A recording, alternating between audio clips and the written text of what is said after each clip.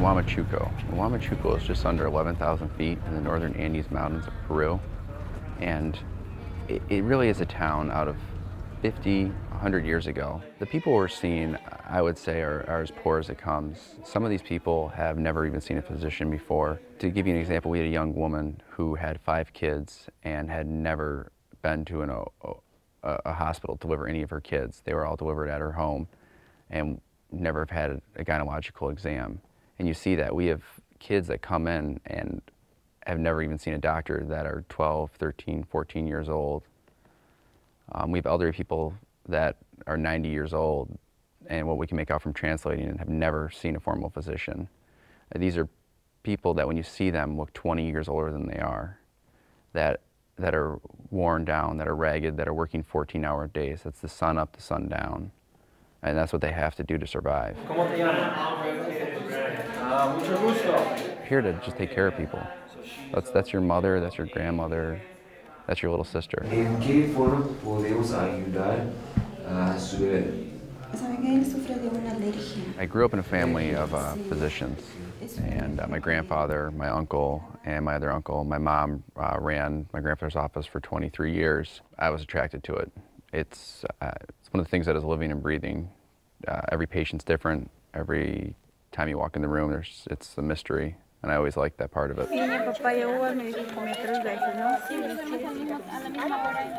Medicine is not more glamorous than anything else anyone else does.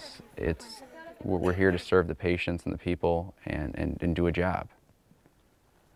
And if you forget that, you, you really, you, you really miss the, the ball and everything they were teaching us. Check fibular head up here. Still feels a bit anterior and uh, Well, you know, some of it's swelling too. This is the kind of crew that, that's there. It says, okay, we'd be here at 7 a.m. to start clinic. All right, we'll be there. We'll be there at 6:50. Okay, you want us to work after five? All right. Well, now you're saying after six. Okay, we'll bear down. We'll get it done. And and that's that's that's what it is. And that's the students across uh, MSU Com and MSU as a whole. But uh, especially on this trip, they were there to work. Dolor? Sí, dolor. We do not have uh, fancy tools or machinery uh, CT scanners and x-ray machines and lab tests. And, and that, that can be difficult sometimes uh, because being the student, that's what we learn about. Let's get a CT, let's get, uh, let's get some labs on them, let's find out what their thyroid levels are. And working with the older docs, that's, that's the best part is when they go, we didn't have these things. You really have to rely on your clinical skills. This is this sign, this is this test. Put your hands on the patient, feel their, feel their thyroid. Does it feel enlarged? Is it tender? Put your hand down. Do you feel that their liver is enlarged? Is their spleen enlarged? What are you feeling? Look at their, look at their arms. If you don't have a nerve conduction test, does it look like they're atrophying? Does it look like their muscles are decreasing in size?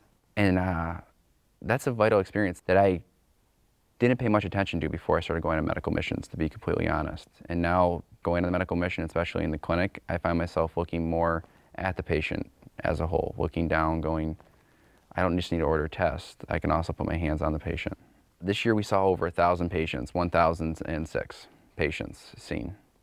So and we were extremely happy with that. With uh, five days of, of seeing patients, with people getting sick as they do on these missions, uh, we had two days where we lost physicians, which was, uh, which is a real blow. Um, but we are, we are in a third world country, 11,000 feet in the Andes Mountains. People do get sick but we were still able to see over a thousand patients, and, and that's a great mission in my book.